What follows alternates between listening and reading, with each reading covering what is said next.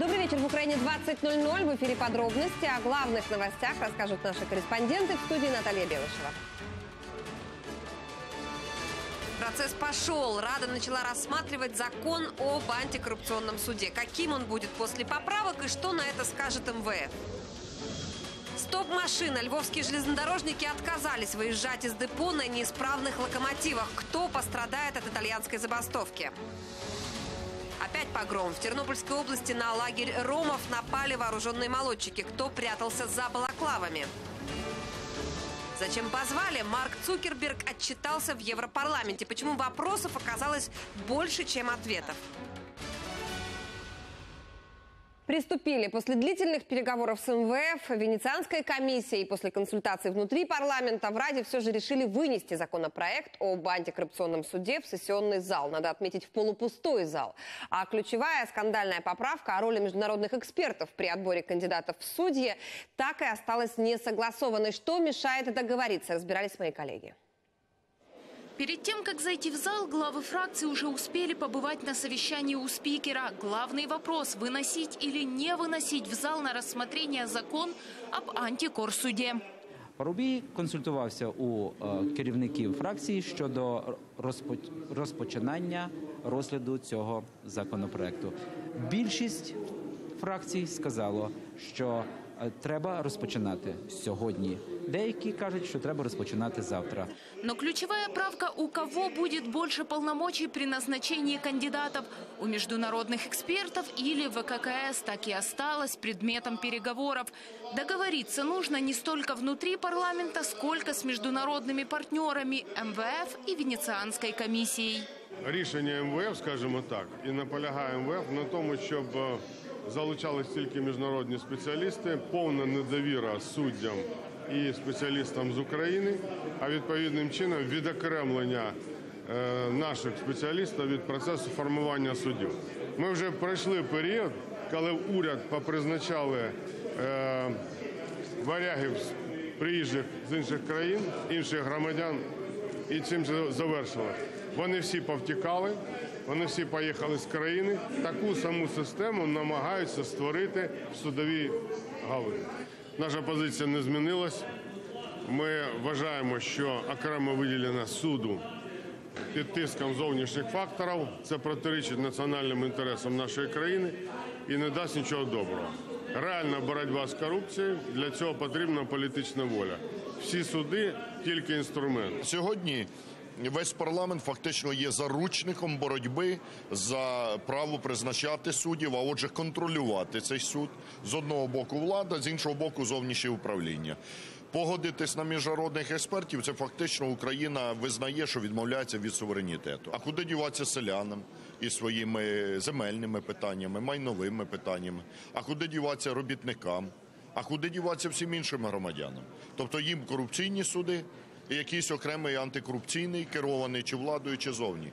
В БПП и Народном фронте все это время не теряют надежды договориться и убедить международных партнеров, чтобы последнее слово при отборе кандидатов было у высшей квалификационной комиссии судей.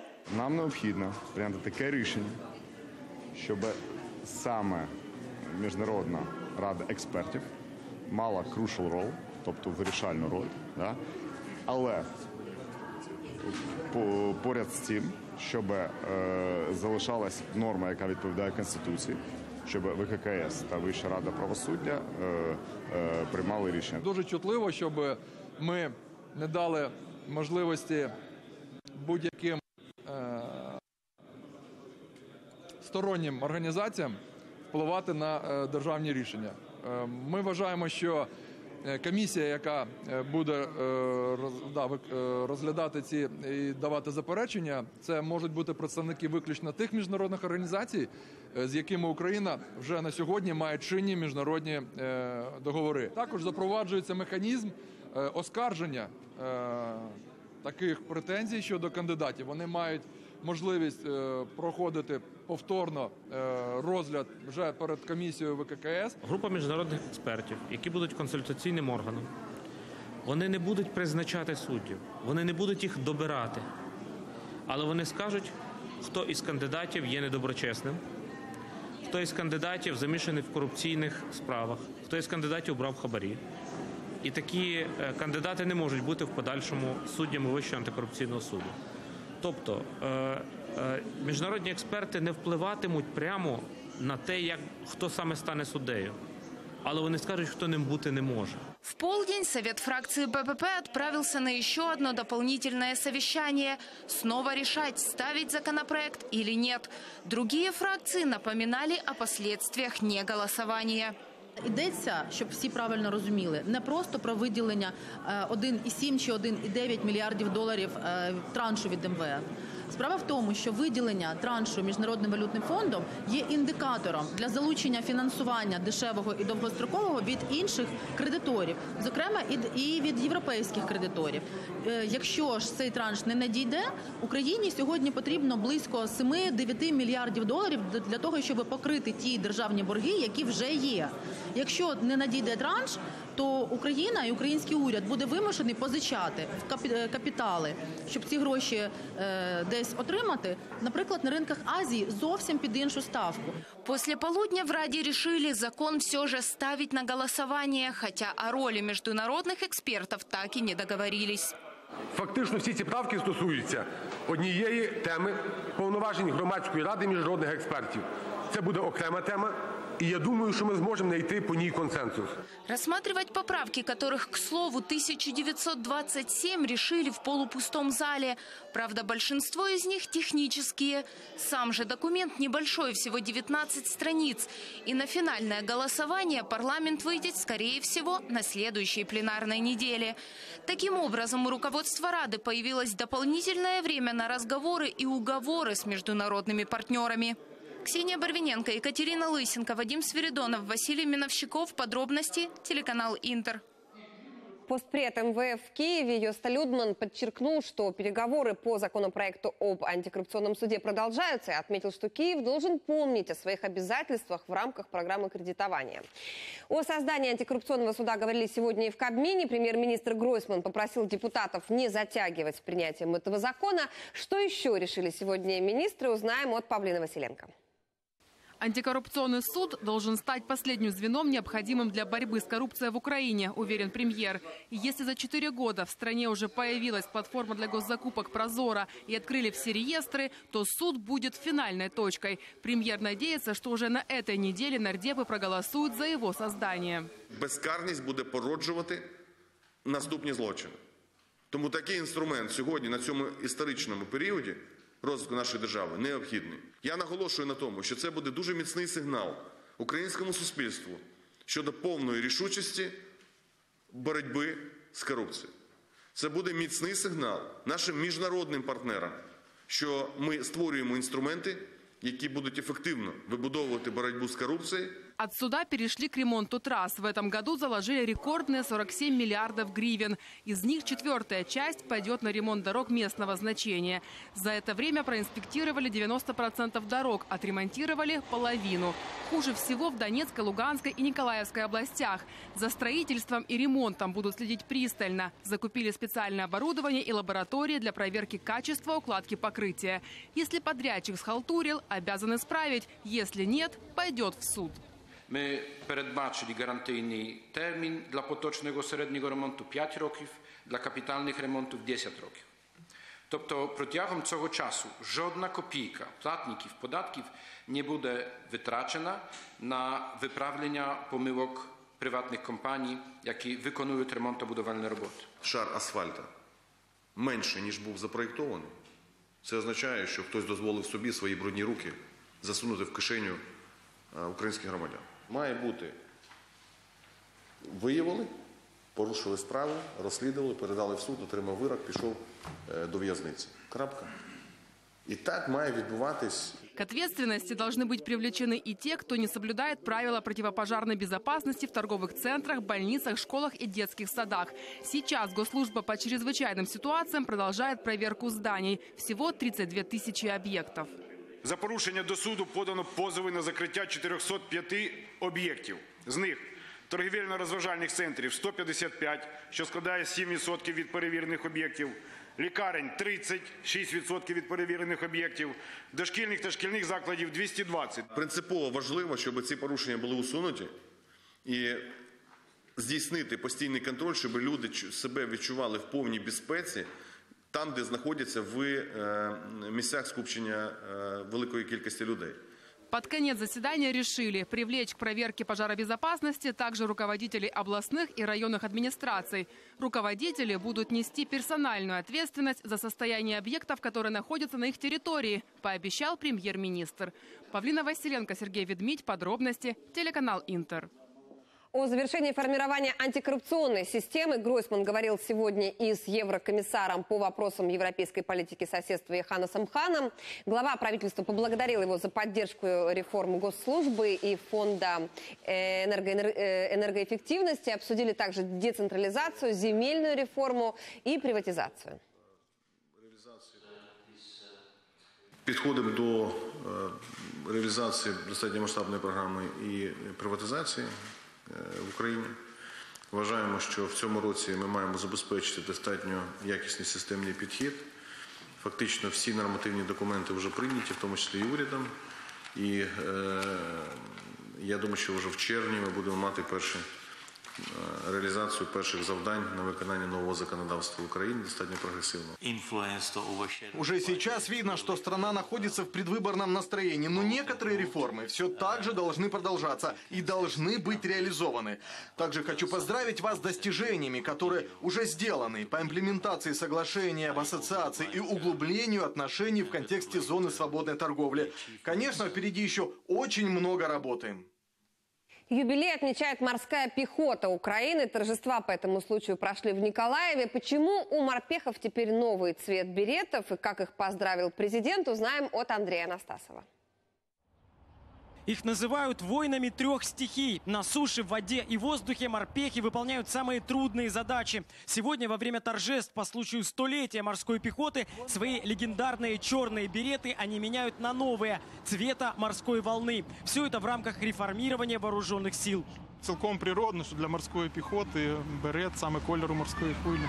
Президент прибывает на командирском катере, вручает награды военным, отмечает мужество, проявленное морпехами на востоке Украины и сообщает, теперь День морской пехоты будут отмечать не 19 ноября, а 23 мая. Указ уже подписан. Рівно 100 років тому, 23 травня 18 року, гетьман Української держави Павло Скоропадський віддав наказ про початок формування бригади морської піхоти в складі трьох полків для несення служби. Незалежність тоді не вдалося відстояти. І лише тепер ми повертаємося до нашої історичної пам'яті і відновлюємо справедливість. Военные приносят клятву, получают боевое знамя и новые береты. Первым головной убор примеряет командующий морской пехоты Юрий Содаль. Морські пехотинці, які, мабуть, одні з самих перших вступили у протибій з російською агресією, е, заслужили своє право написати нову історію. І цьому ви сьогодні являєтесь свідками, як ця історія пишеться. После этого президент прогулялся по городу, заглянул в кафе на улице Адмиральской, прошелся по верхней набережной, где выпускники младших классов и их родители как раз отмечали последний звонок. Одна из важных задач Украины, считает глава государства, обеспечение жильем военных. Уже завтра Петр Порошенко проинспектирует, как реализуется всеукраинский проект по строительству новых общежитий для контрактников. Со временем в них смогут разместиться 23 тысячи военных. Проект вступає в вирішальну стадію. В 21 області України виросте 184 сучасних комфортабельних приміщення. Це наймасштабніший будівельний проект у Збройних силах, подібного якого ще взагалі не було. І третина поміщень, приміщень вже будується зараз. А на полигоне «Широкий лан» глава государства осмотрел ход строительства нового военного городка. Здесь будет 11 современных казарм, столовая на 2500 мест, спортивная и база отдыха для контрактников и офицеров. Все работы планируют завершить к 2019 году. Андрей Анастасов, Игорь Миханошин. Подробности телеканал «Интер», Николаев. Ситуация на Донбассе накаляется. Боевики полным ходом применяют танки и артиллерию. Доходит даже до 152-го калибра. Украинским военным все чаще приходится открывать ответный огонь. О ситуации в самых горячих точках на передовой расскажет Игорь Левинок.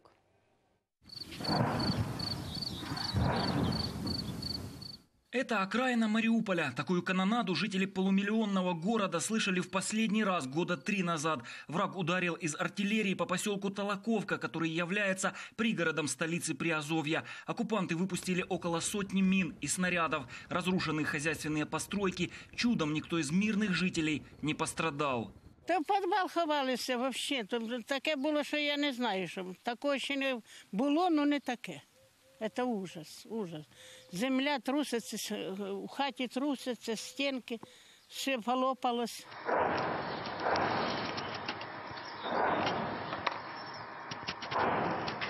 А это видео на телефон сняли наши армейцы под Авдеевкой. Наемники градом обстреливают украинские позиции. По разрывам два с половиной. Враг активизировался на всех направлениях. Это уже Луганская область, нулевые позиции в районе Троицкого. Бойцы говорят, обстрелы здесь каждый день. В крайнее время, допустим, вот по нашему населенному пункту, по Троицка, начали работать по гражданским. Там живуть мирні люди, пасуть коров, діти в школу ходять. Там немає військових, куди вони стріляють. Поэтому командование бригады отдало приказ успокоить врага. Была поставлена задача командирам бригады собрать два отделения, взять легкое вооружение, то есть, которое может нам выделить батальон, и нанести удар по одной из самых сложных позиций, которые находятся на зоне ответственности нашей бригады. Задачу армейцы выполнили на отлично. Это горят вражеские укрепления, откуда оккупанты обстреливали наши позиции и корректировали огонь артиллерии, стрелявшей по Троицкому. Наши бойцы из противотанковых гранатометов уничтожили блиндаж боевиков. Противник понес потери. Давай, давай! Давай сразу десяток туда, закидывай Десяток! Закидывай! Игорь Левинок, Вадим Ревун, Игорь Щепет. С Донбасса. Подробности. Телеканал Интер. Немедленно освободить Олега Сенцова и Владимира Балуха требует от Российской Федерации украинский МИД. В дипломатическом ведомстве заявляют об угрозе жизни этих политзаключенных. Оба они объявили голодовку. В поддержку Сенцова сейчас проходят сразу несколько акций. Юлия Жешко расскажет все подробности. Россия, Ростовская область. Это кадры судебного заседания 2015 года. Именно здесь украинскому режиссеру и писателю Олегу Сенцову вынесли приговор. Наказание лишения свободы на срок 20 лет исправительной колонии строгого режима. 20 лет строгого режима и обвинения в организации преступной группировки на территории оккупированного Крыма. По версии следствия, Сенцов и его напарник планировали уничтожить памятник Ленину. При этом сам подсудимый все подозрения опроверг. Я никогда не являлся участником правого сектора, не организовал никаких террористических групп, не организовал никаких террористических актов на территории Крыма. В российской тюрьме он уже 4 года и за все это время ни разу не просил об освобождении, но требует отпустить украинских политзаключенных – 64 человека. В то же время в его поддержку проходят массовые акции с хэштегом «Фри Сенцов». Из-за бездействия властей 14 мая этого года Олег Сенцов объявил голодовку. Врачи признают, последствия могут быть необратимыми, учитывая, что сегодня уже десятый день протеста. В принципе, все зависит э, от исходного состояния. Считается, могут развиться э, изменения, близкие к необратимым. В поддержку Сенцова выступают многие, в том числе его коллеги по киноиндустрии. Конечно, я очень сильно поддерживаю тот момент, что э, этот беспредел и это беззаконие, и ну, нарочитое беззаконие, конечно, должно прекратиться. По поводу там голодовки я могу сказать следующее, что эта позиция, это позиция гражданская. Держись, держись, и силы духа тебе еще больше, чем у тебя есть. И смысл обращаться к тем персонам, политикам, дипломатам, которые могут повлиять. Я думаю, что эта волна, которую сейчас мы, украинцы, гражданское общество поднимаем в Украине, оно будет по всему миру. Я очень в это верю и надеюсь. Высказался в поддержку Сенцова и кинопродюсер Владимир Филиппов. Он сообщил, что завтра сотни людей снова соберутся у стен российского посольства в Киеве на акцию «Фри Сенцов», которая будет длиться до тех пор, пока режиссер не выйдет на свободу. Я не знаю, чего могут стоить твои убеждения, что ты не готов за них пострадать или умереть. Самый страшный грех на земле – это трусость. Это написал, написал великий русский писатель Булгаков в книге «Мастер Маргарита». Я с ним согласен. Юлия Жешка, Андрей Ярковой и Павел Лысенко. Подробности телеканал Интер. Генпрокурор Украины несколько часов назад выступил в ООН. Главная тема – это борьба с коррупцией. Дмитрий Анопченко с подробностями из штаб-квартиры Организации Объединенных Наций. Борьба с коррупцией сегодня тема номер один для Организации Объединенных Наций. В Нью-Йорк пригласили силовиков и юристов из стран, подписавших 15 лет назад специальную антикоррупционную конвенцию ООН, а это практически весь мир.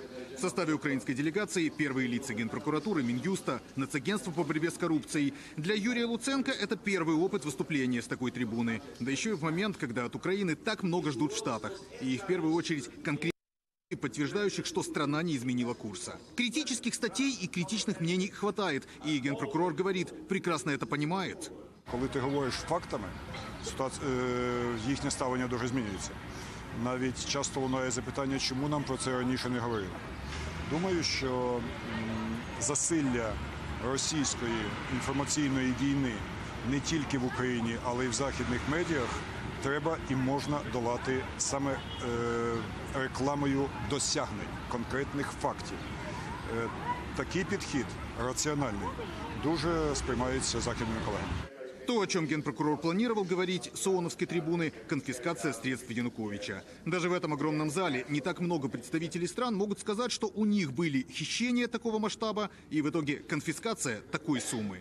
Хотя всем понятно, это ведь верхушка айсберга, поэтому главные месседжи от Луценко, а говорил он специально по-английски, чтобы понятно было без переводчика, нужно упростить конфискацию украденных и выведенных из страны активов, нужна международная координация и нужно общее давление на Россию, где Януковичу и представителям сім'ї сейчас живется спокійно і вольготно. Найбільші корупціонери нашої країни, так звана державна мафія Януковича, отримує повну підтримку в Росії, яка не тільки порушує міжнародну конвенцію про протидію корупції, але й використовує кошти наших мафіозі для роздмухування неоголошеної війни на Донбасі. Понятно, что такие встречи не ограничиваются официальными выступлениями. Понятно, что в кулуарах коллеги и в первую очередь европейцы зададут множество вопросов. И основной, что с созданием антикоррупционного суда. Без чего в том числе и в отношениях с МВФ не сдвинуться. То, что здесь, в Нью-Йорке, говорит украинская делегация, принятие закона – вопрос нескольких дней. И хотя формально в ООНовской повестке дня борьба с коррупцией – тема всего лишь одного дня, всем понятно, к происходящему в Украине присматриваются и очень внимательно, и от результатов зависит очень многое, в том числе и политическая поддержка нашей страны. Из штаб-квартиры ООН Дмитрий Анопченко, Юрий Романюк, Американское бюро телеканала «Интер». Оружейный скандал с политическим привкусом. В Германии судят менеджеров компании Heckler Koch. Их подозревают в нелегальном экспорте оружия в Мексику и подкупе депутатов Бундестага. Все подробности знает Татьяна Лагунова. По делу проходят шесть бывших менеджеров компании. Прокуратура Штутгарта считает, они причастны к нелегальной продаже оружия в Мексику. И несмотря на запрет правительства Германии, поставляли штурмовые винтовки в те мексиканские штаты, где оружие могло попасть в руки наркоторговцев. В период с 2006 по 2009 они занимали различные должности в компании, были причастны к продаже почти 5000 винтовок в Мексику. Процесс идет уже неделю, но в деле неожиданно появился политический привкус. У следствия есть данные, что подсудимые пытались легализировать поставки в Мексику с помощью взяток политическим партиям. Замешанными в скандал оказались две влиятельные политические силы Германии – Свободная демократическая партия и Христианско-демократический союз Ангелы Меркель. По данным СМИ, менеджеры компании перевели на счета этих партий по 10 тысяч евро. Ну а потом якобы просили отдельных депутатов помочь получить разрешение на экспорт оружия в Мексику. Громким политическим отставкам этот скандал вряд ли приведет. Деньги декларировались как пожертвования. Да и экспорт винтовок в Мексику после взносов никто не разрешил. Ну и баллов партиям, которые оказались замешанными в это дело, тоже не прибавит. Татьяна Лугунова, Геннадий Никеенко. Подробности немецкое бюро телеканала «Интер». Шесть человек погибли, трое были травмированы в результате столкновения микроавтобуса с фурой во Львовской области. Трагедия произошла сегодня рано утром. Кто ехал в этой маршрутке, выяснили наши корреспонденты. Дорога Киев-Чоп. Заработчане возвращались из Чехии. Микроавтобус был практически забит сумками с покупками и подарками родным. В какой-то момент водитель не справился с управлением, и машина догнала грузовик, который ехал в попутном направлении. Відбулося зіткнення в задню частину попутного вантажного автомобіля, Що призвело до його з'їзду в кювет по правій по напрямку руху. Удар был настолько сильным, что в маршрутке сорвало сиденье. Спасателям пришлось извлекать пострадавших при помощи спецтехники. Першого потерпілого вдалося витягти живим е, за допомогою гідравлічного інструменту і передати медицині. На жаль, шестеро загиблих залишились в автомобілі е, заблокованими. Среди погибших одна женщина и пять мужчин в возрасте от 30 до 45 лет. Все они жители Ривнинской и Хмельницкой областей. Трое мужчин выжили. Двое из них в реанимации в тяжелом состоянии. У водителя легкие травмы. С журналистами он не общается. Был ли шофер трезв, покажет анализ крови. У полиции несколько версий причин произошедшего. Або не вибрана безпечна швидкість, що він не, вс- і не дистанція, або е, він заснув за кермом дійсно і не зміг зманеврувати. Ми їх будемо розглядати. Ну і звичайно, третє це технічний стан транспортного засобу. Окончательную причину аварии установят следователи. В полиции открыли уголовное производство. Андрей Кровец, Виктория Балецкая, Михаил Заярнюк. Подробности телеканал Интер, Львовская область. Родственники украинского моряка Андрея Новичкова обратились к президенту и спикеру Верховной Рады с просьбой о помощи. Украинец больше года уже находится в иранской тюрьме, ему грозит смертная казнь. Новичкова обвинили в убийстве местного матроса, с которым он работал на одном судне. В сентябре минувшего года украинские консулы добились его освобождения из э, СИЗО под личное обязательство одного из дипломатов. Родственники Новичкова считают, что его могли бы обменять на иранца Али Джадуэля, которого в Украине обвиняют в шпионаже. Команда подтвердила, что Андрей не виноват. Родственники сняли обвинение, что у него не доказана его вина. Новый следователь и сняли с него э, обвинение расстрела или повешения. После того назначили нового следователя, который три месяца изучая вопрос, опять возвращает ему статью. Парламент может повлиять на МИД. Э, У МИДа есть э, возможности общения, э, дипломатического общения с э, руководством МИДа Израиля. У руководства страны есть э, общение с руководством Ирана. Есть достаточно много каналов, по которым можно намекнуть прозрачно о том, что наш гражданин должен быть освобожден. Больше никто никуда не едет. Работники Львовской железной дороги присоединились к итальянской забастовке своих коллег из других регионов. На работу машинисты вышли, но садиться в неисправные машины отказались. Все подробности расскажет Галина Якушка. Нет громоотводов, зеркала заднего вида отломаны, колесные пары на обычных хомутах. Так выглядят электропоезда в депо Львовской железной дороги. Их закупили в 80-х, 90-х годах прошлого века. Пожежний стан локомотива, ну, чесно кажучи, він в будь-який час може загорітися. От, тобто, вогнегасників має бути вісім, як два справних, то дуже добре. Падіння летали на колі, наприклад, кожуха, у нас є такі зубчатих передач, от болти вайс, воно падає на колію. Пульти от, все тут не закріплене. На ходу це все просто розвалюється, неймовірний шум. Це є от сигнальні лампи, половина їх не відсутня. Из-за всего этого машинисты и их помощники объявили так называемую итальянскую забастовку. На рабочие места приходят, но выходить на маршрут отказываются. Сейчас стоят около 15 товарников, которые должны были доставить груз в Закарпатскую область.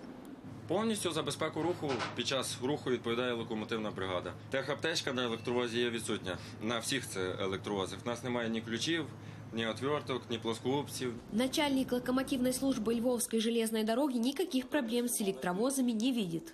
Капітальний ремонт КР-2 проводиться через 12 років. Відновлюються практично всі характеристики локомотива.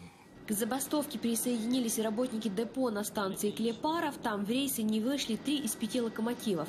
На ситуацию отреагировал народный депутат Сергей Каплин. страйкують на, Укр- на Укрзалізниці. Е, Там машиністи і всі інші працівники е, цього підприємства отримують мізерну заробітну платню. Зате по залізниці гуляють цілі чемодани з грошима. Залізниця займається сьогодні неймовірною корупцією, корупцією на мільярди гривень, на мільярди щомісяця, не щороку. В локомотивном депо Кривого Рога, где на прошлой неделе сотрудники тоже объявили итальянскую забастовку, работу уже возобновили. А вот местные металлурги по-прежнему отказываются выполнять свои обязанности. Говорят, это опасно для жизни. Сегодня около полтысячи человек пришли к заводоуправлению, требовали повысить зарплату до тысячи евро и отремонтировать оборудование. Но договориться снова не получилось. Галина Якушка, Елена Миндалюк, Юрий Голубинка, Евгений Кодинцов. Подробности телеканал Интер. Новый порядок начисления субсидий может привести к очередному обнищанию населения. Об этом на заседании Комитета по вопросам соцполитики заявил народный депутат Сергей Каплин. По его словам, в прошлом году на выплаты субсидий было потрачено 70 миллиардов гривен. Но с мая в Украине действуют новые правила. На компенсацию не смогут претендовать владельцы автомобилей, которым менее пяти лет. Оплачивать коммуналку самостоятельно также будут собственники квартир площадью в 120 квадратных метров и домов более 200 квадратных метров. Я зареєстрував закон України, проект закону України про справедливу ціну на газ, і я з повною відповідальністю, як людина, яка частину свого життя присвятила е, проблемам і науці про енергозбереження та паливно-енергетичний комплекс, заявляю, ціна газу може бути не вище 3,5 тисяч гривень і крапка. Все інше це заробітки Нафтогазу України, все інше йде на зарплату, на багатомільйонні зарплати керівництва Нафтогазу, все інше виводиться в офшори. Сейчас по требованию МВФ они сокращают выплаты с бюджета по субсидиям, то есть людей загоняют в сумасшедшую долговую яму и тем самым просто ну, пропагандируют бедность и колоссальную нищету. Поэтому мы требуем пересмотреть этот порядок предоставления субсидий, который вступил в действие с 1 мая. Министерство регионального развития опубликовало рейтинг регионов за 2017 год. Лидирует Харьковская область, на втором месте Ривненская, на третьем Днепропетровская. В хвосте плетутся Черниговская, Николаевская, Донецкая и Луганская области. Регион, которым руководит Юлия Светличная, был признан лучшим по 9 показателям из 60. Это, в частности, соцобеспечение, развитие предпринимательства, повышение качества образования и защита детей. Столичные активисты продолжают акцию у стен Высшего хозяйственного суда Украины. Они утверждают, что располагают информацией об участии судей в рейдерских захватах. Все подробности в нашем материале. С фаерами, плакатами и требованием прекратить коррупционную деятельность судей несколько десятков столичных активистов собрались под зданием Высшего хозяйственного суда Украины. Результатам независимых расследований, заявил лидер общественной организации Алексей Свинаренко, активисты выяснили, некоторые судьи участвуют в рейдерских захватах предприятий. К слову, один из подобных случаев произошел в январе этого года на заводе по переработке соевых бобов в Новой Каховке, Каховка Протеинагро. После обыска предприятия следователь Генпрокуратуры Александр Буковчаник вынес постановление передать завод на хранение фирме, которая ранее владела комплексом, но в 2011-м обанкротилась. Неизвестная в балаклавах, растянутых спортивных штанах и сбитами, заняли заняли проходную. Работу завода блокировали больше недели, и после попытки действующими охранниками уладить конфликт, неизвестные применили огнестрелы и холодное оружие. Четверо людей попали в больницу, один с огнестрельными ранениями. По мнению активистов, необходимое решение в пользу бывших собственников принимают несколько судей. Действуют они под контролем Андрея Богдана, одиозного адвоката времен Януковича.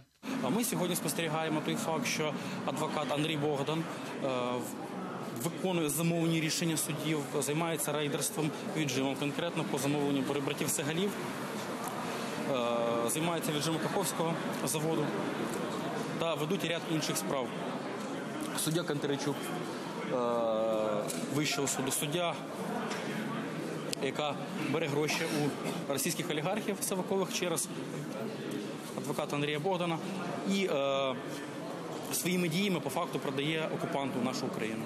О давлении со стороны бывших собственников заявляют и в фонде гарантирования вкладов физлиц. Там сообщили, банк Надра дал кредит 25 миллионов долларов на строительство завода по переработке сои в 2008 году. Но предприятие так и не смогло погасить долги. Задолженность составила 125 миллионов гривен, и предприятие по закону передали под контроль другой фирмы. После начала ликвидации финучреждения офшорная компания, подконтрольная братьям Сигалям, пытается взять соевый завод под свой контроль. В фонде уточняют, на ликвидатора давят при помощи правоохранительных правоохранительных органов и депутатов. Впрочем, активисты утверждают, беззакония не допустят.